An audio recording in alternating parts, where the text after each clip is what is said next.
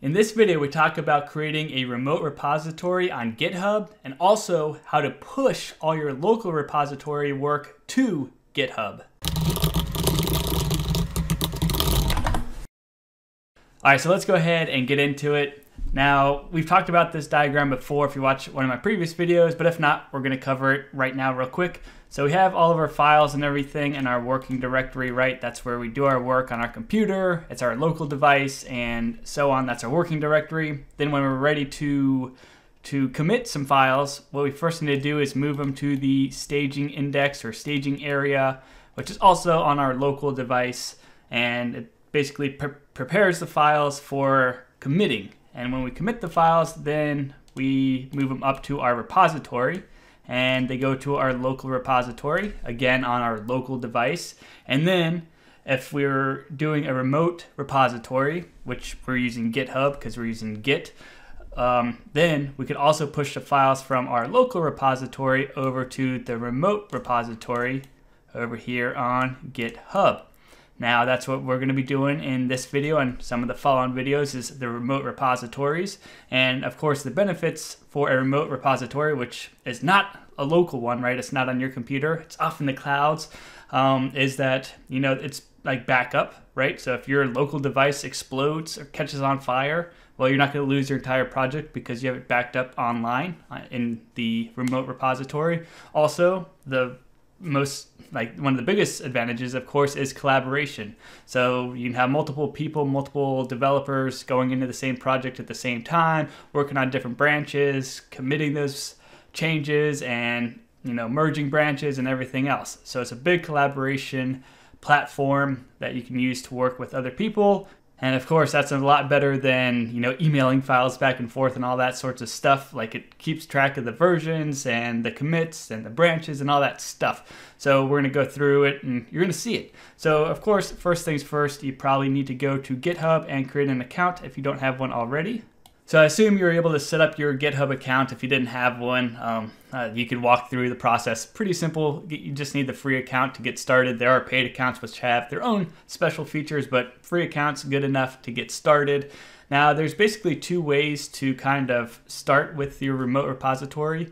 Like if you already have a local repository, you've already been doing some work on some files and some projects and you got some branches and all that other stuff going on in your local repository, and you want to push it to a remote repository, you can do that.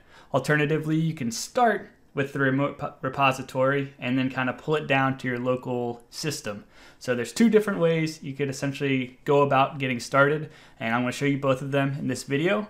Now we've already created a local repository and we've done some work in our local repository from previous videos so we're going to do our local repository to the remote repository first and then we'll do it the other way.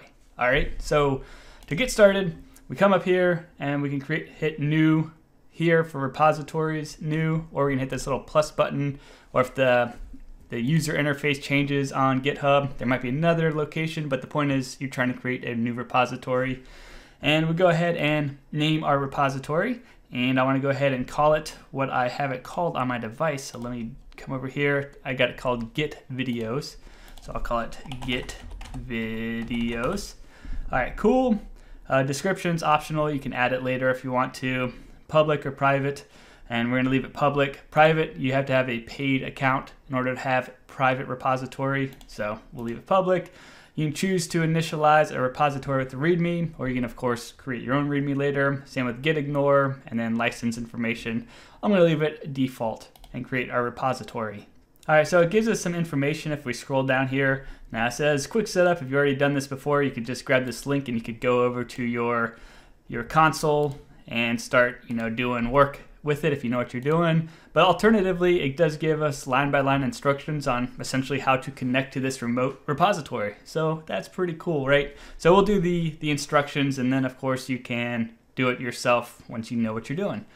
All right, so first we had this or create a new repository on the command line. We're not doing that. We already have our local repository, right? So we're going to come down to this step and we're going to push an existing repository from the command line. So we need to follow this first, git remote add origin, and then our link to our remote repository. And let's go ahead and do that real quick and I'll explain what this, this line is doing. So let's come over to our system here. I'll go ahead and paste that in there. I'll run it real quick. And so what this command just did was the git remote, you know, saying that we're setting up our remote, we're doing our remote repository here.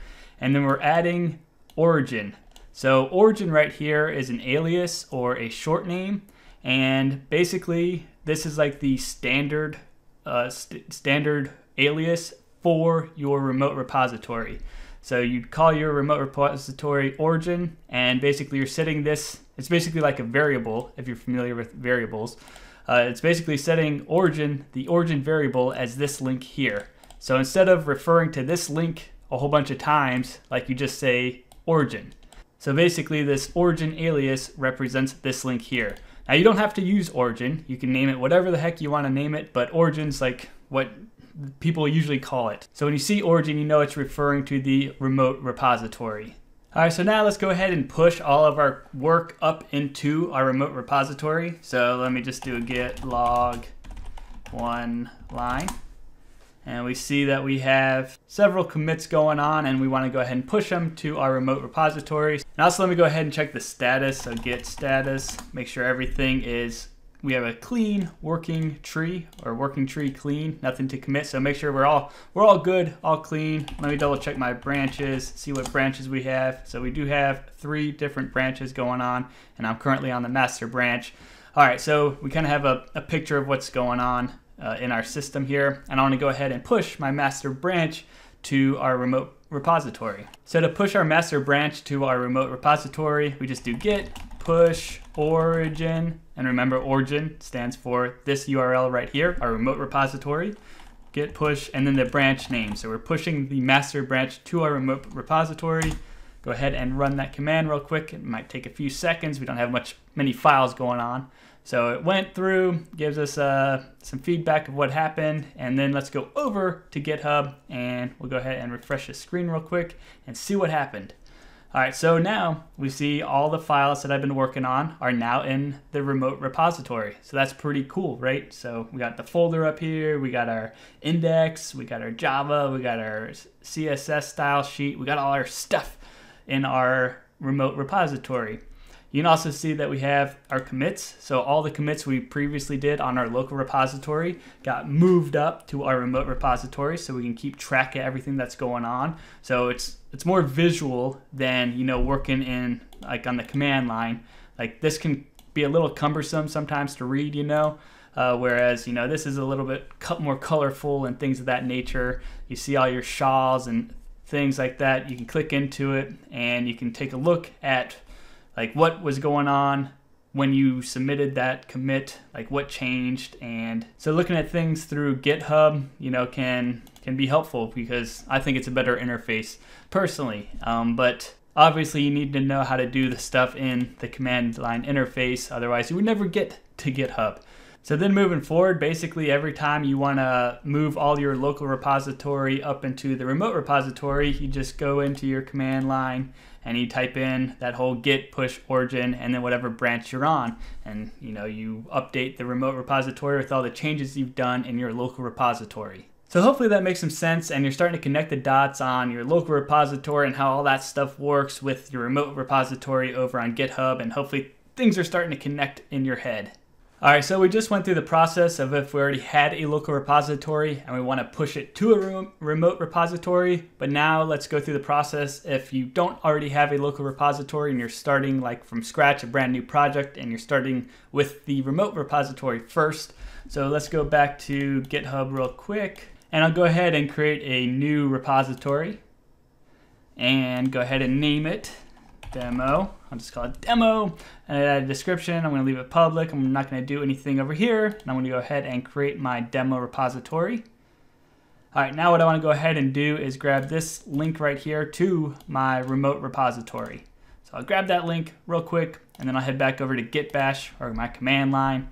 Now I'm currently in my Git videos local repository, right? So I'm, I'm in my master branch, and I want to go up a directory. I don't I don't want to build another repository inside of a repository or things can get a little complicated doing that. So I'm just going to change my directory real quick, go up a directory to my desktop and now what I want to do is go ahead and establish my, my new repository. So to do that, it says git clone and then the link that I got from GitHub. And for some reason, I must have copied something funky. Let's try that again real quick. Copy and just come back in here, git clone, try again, paste. All right, there we go. Press enter right here.